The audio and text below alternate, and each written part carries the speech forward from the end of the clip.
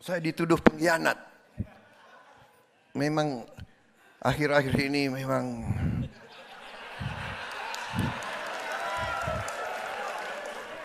syarat dengan aroma-aroma pengkhianatan.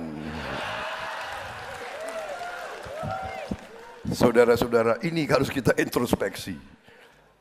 Sekarang rekayasa ini, rekayasa itu, ya kan? Ulah ini, ulah itu tidak ada masalah, saudara-saudara sekalian. Rakyat yang akan menilai kita, saudara-saudara. Rakyat dan sejarah. Jangan mengira perbuatan kita tidak dinilai oleh rakyat. Jangan dinil, jangan dikira ucapan-ucapan kita tidak dipelajari oleh rakyat, saudara-saudara sekalian. Memang tidak gampang jadi ketua umum partai, tidak gampang. Ada dulu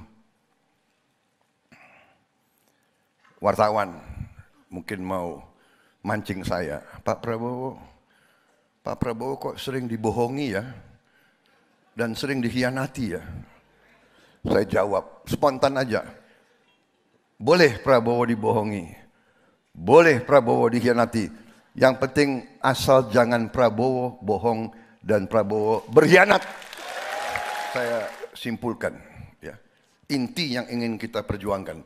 Ini saya lontarkan dan sudah saya lontarkan ya. Sudah ada perwakilan dari Gelora Pak Fahri Hamzah waktu itu hadir dari PAN, dari PSI, dari semua hadir. Waktu itu kalau nggak salah PKB masih hadir. Ya.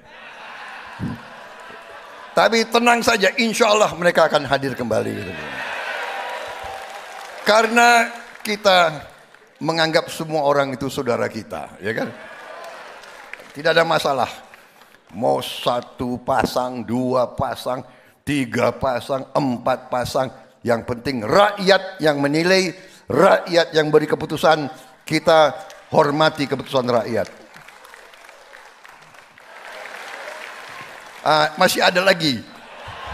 Ini pantun favorit saya. Satu dua, cempaka biru. Tiga empat dalam jabangan. Kalau ada yang dapat teman baru, teman lama dilupa jangan. Merdeka! Merdeka! Hidup Golkar! Hidup PBB!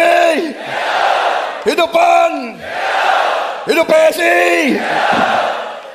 Hidup semuanya! Hidup Gerindra! Hidup PKB!